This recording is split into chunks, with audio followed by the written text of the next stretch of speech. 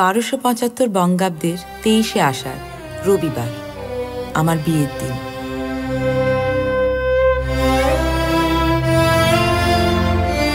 ওই বিশাল বাড়িতে মন খুলে দুটো কথা বলার জন্য হাঁসফাঁস করতে যে নতুন বৌঠান সে অবশেষে একজন বন্ধু পেল। রবি। বরাবাদর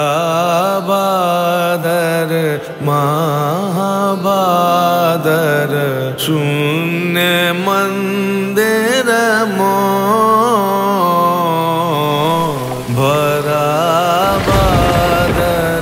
ভগ্নহৃদয়ের সব কবিতা তোমার জন্য লেখা।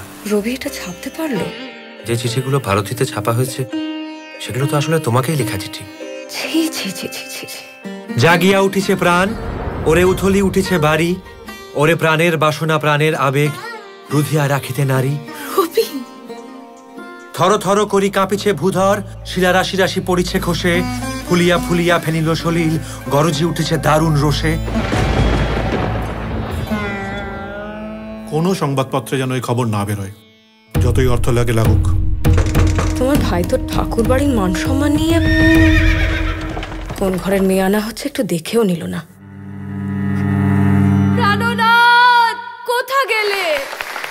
তুমি কি বিনোদিনীর সাথে প্রেম করছ? তোমাকে ছেড়ে আমি কখনো কোথাও যাব না।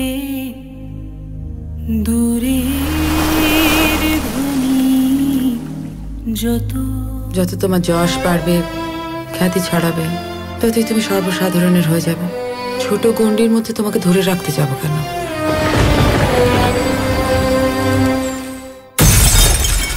নতুন বউঠান আসলে তো বাঁচা চৌষট্টি খোপে সাদা কালোর খেলায়। শেষ তানে তাই বড়ে এগিয়ে দিলাম কিস্তি।